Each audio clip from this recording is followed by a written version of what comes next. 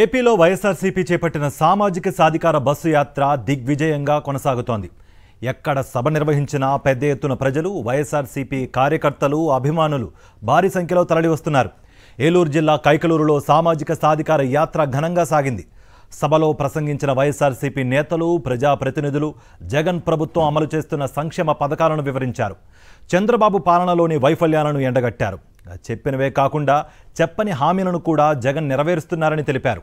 నాలా యాదవ్ ఆయన బీరా మస్తాన్ యాదవ్ ఆయన్ని కూడా రాజ్యసభకు పంపించారు. మన బీసీల కోసం రెండు రాష్ట్రాల్లో అహర్నిష్టం పోరాటం చేస్తున్న మన ఆర కృష్ణయ్యను కూడా రాజ్యసభకు పంపించింది మన జగన్ అన్నే అని చెప్పి సందర్భంగా తెలియజేస్తున్నాను. ఇప్పుడు చెప్పండి అయ్యా చంద్రబాబు నాయుడు మూడు సార్లు ముఖ్యమంత్రి చేసి ఒక్క బీసీని ఒక్క బీసీల్లో కులాల్ని రాజ్యసభకు పంపించాడా అని అడుగుతున్నాను. పంపించాడా? లేదు. చేతులు లేవంటే చేతులు లేవా? లేవు లేదు. ఎక్కడో పెట్టుకోవాలి వాళ్ళ తలకాయలు. ఆ చంద్రబాబు నాయుడు కూడా ఉన్న బీసీ నాయకులు పెద్ద నాయకులు వృద్ధ నాయకులు ఎక్కడ పెట్టుకోవాలి తలకాయలు? ఇదే కాదు. మా కేబినెట్ మా కేబినెట్లో మరి సామాజిక న్యాయం డెబ్బై పర్సెంట్ మంత్రులకి ఎస్సీ ఎస్టీ బీసీ మైనార్టీకి ఇచ్చిన ఘనత ఎవరిది? మన జగన్ అన్నది. ఎక్కడ పెట్టుకోవాలి తలకాయ? చంద్రబాబు నాయుడు అడుగుతున్నా మీ ద్వారా. ఇక్కడ న్యాయం జరిగిందా? మరి ఎమ్మెల్సీలు. ఎమ్మెల్సీల్లో ఇవాళ పదిహేడు వస్తే దగ్గర దగ్గర పద్నాలుగు మరి ఎస్సీ ఎస్టీ బీసీ మైనార్టీకి ఇచ్చిన ఘనత ఎవరికి దక్కింది? జగన్ గారికి దక్కింది. మరి నువ్వు ఇచ్చావా? ఇచ్చాడా? ఇచ్చాడు. ఇంకా సామాజిక న్యాయ వర్గం అంటే ఇదే. ఇవాళ సామాజిక న్యాయం చేయటానికి నూట ముప్పై తొమ్మిది కులాలను వెలికి తీసి యాభై ఆరు కార్పొరేషన్లు ఇచ్చారు. నేను బీసీనే యాదవ్ని. ఇక్కడ కూడా యాదవ్లు నా సోదరులు ఎక్కువ ఉన్నారు. నా బంధువులు కూడా ఉన్నారు. ఆ యాదవులందరూ కూడా మా యాదవుల గురించి ఒక మాట చెప్పాలి. వాళ్ళు చాలా మంచోళ్ళయ్యా. మాట ఇస్తే మాట తప్పరు. నేను వచ్చినా పక్కనెట్టేస్తారు మా జగనన్న గారు నన్ను దెందులూరు పంపించారు లాస్ట్ టైం అప్పుడు దాకా మనం ఒక తోట ఉన్నాం ఇప్పుడు మనోడు వస్తే వెళ్ళిపోవాలంటే అని చెప్పి నాకు చేయలేదు. కానీ ఇప్పుడు అందరూ కూడా మాడారు. యాదవులందరూ కూడా రాష్ట్ర వ్యాప్తంగా ఎంచేదంటే నలుగురు ఎమ్మెల్సీలకి యాదవులకి ఇచ్చారు నలుగురు ఎమ్మెల్యేలు ఇచ్చారు నాకు మంత్రి ఇచ్చారు రాజ్యసభ ఇచ్చారు మేయర్లు ఇచ్చారు జడ్పీ ఇచ్చారు ఎన్ని కార్యక్రమాలు చేశారో గొప్ప నాయకుడు జగన్మోహన్ రెడ్డి గారు అని చెప్పి సందర్భంగా తెలియజేస్తున్నా. అందుకే యావత్ ఆంధ్ర రాష్ట్రంలో ఉన్న యాదవులందరూ కూడా రావాలి జగన్ కావాలి జగన్ అంటున్నారు. ఇవాళ ఇంత న్యాయం చేస్తూ మరి ఇవాళ నాడు నేడు స్కూల్స్ని మార్చి పెద్ద ఎత్తున అన్నీ కూడా ఇచ్చేసి అమ్మఒడి ద్వారా పేద పిల్లల్ని కూడా చదివించాలని చదివిస్తున్నాడు. ఒక ఆయన అడిగారు ఏమండి జగన్మోహన్ రెడ్డి గారు అరవై ఐదు వేల కోట్లు డెబ్బై వేల కోట్ల దాకా వస్తుంది ఇప్పుడు. ఈ ఖర్చు పెద్దవాళ్ళకి ఖర్చు పెడితే ఓట్లు వేస్తారు కదా. ఈ చదువుకునే పిల్లలు చిన్నపిల్లలు ఓట్లేరు కదా అన్నారు. ఏమన్నాడో తెలుసా? నాకు ఓట్లు కాదు ముఖ్యం. చెప్పులు కుట్టుకునే పిల్లవాడైనా. మరి కార్మిక పిల్లవాడైనా రిక్షా తొక్కునే పిల్లవాడైనా ఆటో తొలకునే పిల్లవాడైనా రైతు కుటుంబాన్ని వచ్చిన పిల్లవాడైనా ఏ ఈ కుట్టుకునే పిల్లవాడైనా న్యాయ బ్రాహ్మణ పిల్లలైనా ఏ పిల్లలైనా సరే డాక్టర్లు అవ్వాలి ఇంజనీర్లు అవ్వాలి ఐఎస్ ఆఫీసర్ అవ్వాలి. అందుకే ఆ కుటుంబ స్థితిగతులు మారాలని నేను చదివిస్తున్నానని చెప్పి చెప్పిన మంచి మనసున్న మనిషి ఎవరు? జై జగన్ జై జగన్ జై జగన్.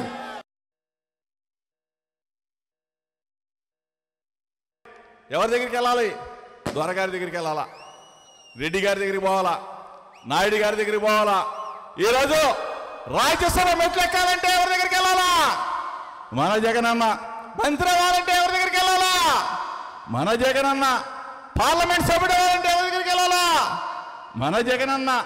జిల్లా పరిషత్ చైర్మన్ అవ్వాలంటే మన జగనన్న.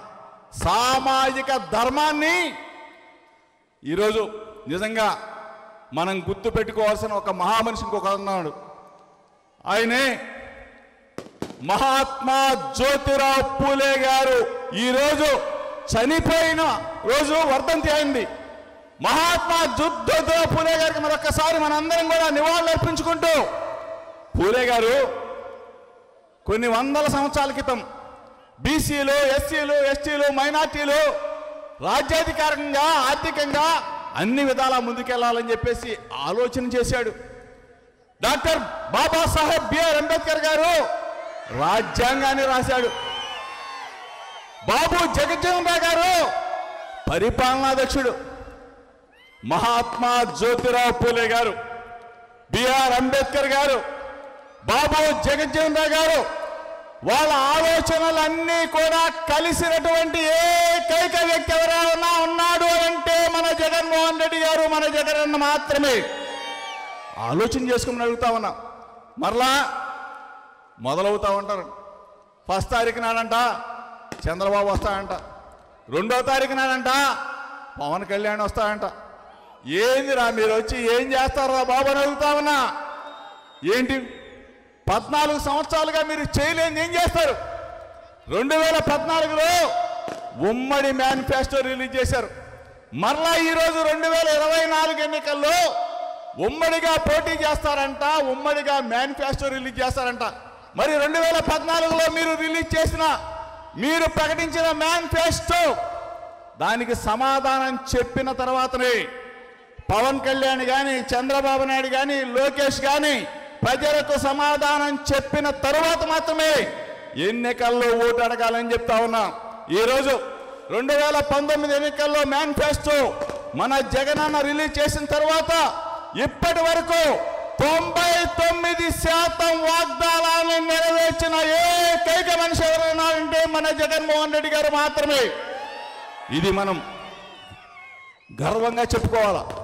ఇది మన వైఎస్ఆర్ కాంగ్రెస్ పార్టీ రేపు కైకలూరు నియోజకవర్గంలో మన మిత్రుడు సోదరుడు ఆప్తుడు పేదల పాలిట పెన్నిది ప్రతి నిత్యం నియోజకవర్గ సమస్యల కోసం పోరాడే ఏకైక వ్యక్తి మనం దూలం నాగేశ్వరరావు అన్నని మనం బంపర్ మెజార్టీతో గెలిపించాల్సిన బాధ్యత మన మీద ఉంది. బీసీ వర్గాల వారిని అన్ని విధాలుగా అభివృద్ధి పథంలో ముందుకు తీసుకుని వెళ్ళడానికి ఈ విధమైన నిర్ణయాలు తీసుకుంటుంటే చంద్రబాబు నాయుడు గారు పద్నాలుగు సంవత్సరాల ముఖ్యమంత్రిగా చేశాడు. ఐదు సంవత్సరాలు రాష్ట్రం విడిపోయిన తర్వాత ముఖ్యమంత్రిగా చేశాడు. ఈ రోజు వరకు ఆంధ్ర రాష్ట్రంలో వారి చిరునామా లేదు. ఎవరైనా వెళ్ళి పో పోస్ట్ కార్డు ద్వారా ఒక జాబ్ రాయాలంటే పోస్ట్ అడ్రస్ లేనటువంటి పరిస్థితి. వారికి వత్తాసు పలికేటటువంటి పవన్ కళ్యాణ్ గారు తెలుగుదేశం పార్టీ ఏమో అంపశయ్యమైంది. ఉంది దానికి వత్తాసు పలికి ఏదో ఒక విధంగా తెలుగుదేశం పార్టీని బ్రతికించాలనేటువంటి తహతాలాడుతున్నటువంటి ఏకైక వ్యక్తి ఎవరంటే పవన్ కళ్యాణ్ గారు. ఏ రాజకీయ నాయకుడైనా కానీ నేను రాజకీయాల్లోకి రావాలి నేను కష్టపడాలి నాయకుల యొక్క అన్నదండలతోటి ప్రజల యొక్క అన్నదండలతోటి నేను ఒక పదవిని అధిరోహించాలని చెప్పి కోరుకునే ఆ విధంగా అడుగులు ముందుకు వేయటువంటి సర్వసాధారణం. కానీ నాకు పదవులొద్దు. నా పక్కనున్న చంద్రబాబు నాయుడినే బ్రతికించాలి. ఆయన్ని ముఖ్యమంత్రి చేయాలి. అదే నా యొక్క కళల సాకారం ఆయన కళలు సాకారం చేయాలని చెప్పి పరితపించేటటువంటి రాజకీయ పరిజ్ఞానం లేని వ్యక్తులు ఈరోజు మన రాజకీయాల్లో ఉన్నారు. రాష్ట్రంలో చిరునామా లేవు. ఏదైనా వస్తే చిన్నది వస్తే చెప్పుకొచ్చి వస్తారు చుట్టం చూపుగా వస్తారు. మేమున్నాము మా ఉనికిని కాపాడండి అని చెప్పి నాలుగు మాటలు చెప్తారు వెళ్తారు. కానీ ఎవరికైనా కష్టం వస్తే చెప్పుకోవటానికి ఆ కష్టానికి కష్టంలో ఉన్న వ్యక్తులను ఓదార్చడానికి ఈరోజు జగన్మోహన్ రెడ్డి గారు మనకు అండగా ఉన్నారు అనే దానికి ఎన్నో రకాలైన కారణాలు ఎన్నో రకాల సాక్ష్యాలు మన ముందు ఉన్నాయి. ఈ విధంగా చెప్పుకుంటూ పోతే అనేక రకాలైనటువంటి నిర్ణయాల ద్వారా రాజకీయ రాష్ట్రాన్ని అన్ని విధాలుగా అభివృద్ధి పథంలో ముందుకు తీసుకుని వెళ్ళటమే కాకుండా ఈ రాష్ట్రం నివసిస్తున్న ప్రతి పేదవాడు కూడాను సుఖ సంతోషాలతో ఉండాలనేటువంటి ఏకైక లక్ష్యంతో ఈరోజు మన ముఖ్యమంత్రి శ్రీ వైఎస్ జగన్మోహన్ రెడ్డి గారు పరిపాలన చేస్తున్నారు కాబట్టి మరలా ఇరవై నాలుగులో ముక్త కంఠంతో మీరందరూ కూడా జగన్మోహన్ రెడ్డి గారి యొక్క నాయకత్వానికి అండగా ఉండాలని అదేవిధంగా మీ స్థానిక శాసనసభ్యులు పెద్ద నాగేశ్వరరావు గారు నిరంతరం ఈ నియోజకవర్గాన్ని అభివృద్ధి చేయాలి.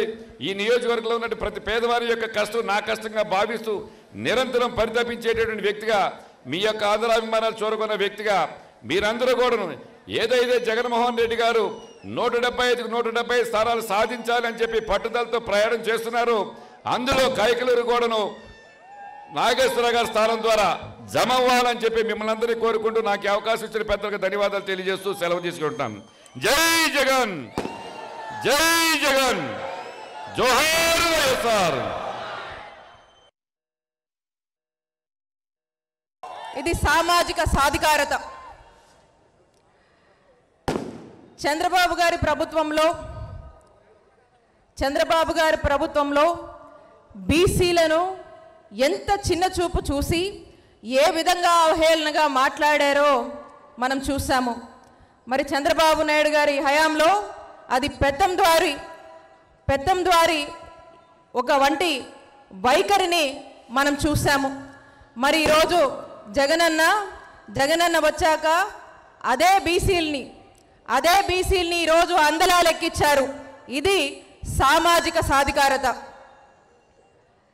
చంద్రబాబు గారి హయాంలో మరి మైనారిటీలకు ఏ ఒక్క అవకాశం కూడా ఇవ్వకుండా ఏ విధంగా కూడా వాళ్ళ ఆత్మగౌరవం దెబ్బతీశారో మనం చూసాం అది సామాజిక వివక్ష. మరి ఈరోజు జగనన్న వచ్చాక జగనన్న హయాంలో ఈరోజు మైనారిటీలకు ఏకంగా డిప్యూటీ సీఎం ఇచ్చినటువంటి ఘనత మన జగనన్న ప్రభుత్వానికి దక్కుతుంది. ఇది సామాజిక సాధికారత. ఇక చంద్రబాబు గారి హయాంలో గిరిజనులకు ఏమీ కూడా చేయకుండా ఏ మాత్రం కూడా గిరిజనులు పట్టించకుండా ఆ కొండ ప్రాంతాలకే అంకితం చేస్తూ ఏ విధంగా గిరిజనుల్ని మోసం చేశారో చూసాం. అది సామాజిక వెనుకబాటుతనం. మరి ఈరోజు జగనన్న వచ్చాక మరి ఈ రాష్ట్రంలోని గిరిజనులందరికీ కూడా అన్ని రకాల సేవలు అన్ని రకాల ఈరోజు భరోసాని మన జగనన్న ప్రభుత్వం ఇచ్చింది. ఇది సామాజిక సాధికారత.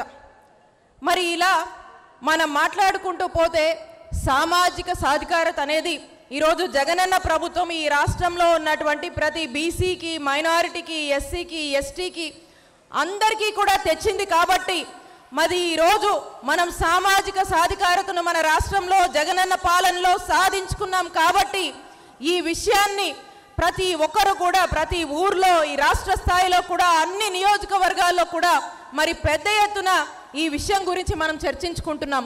మనం సాధించుకున్న సామాజిక సాధికారత జగనాన్ని ఇచ్చినందుకు మనం సంబరాలు చేసుకుంటున్నామని చెప్పి ఈ సందర్భంగా తెలియజేస్తూ ఉన్నాను.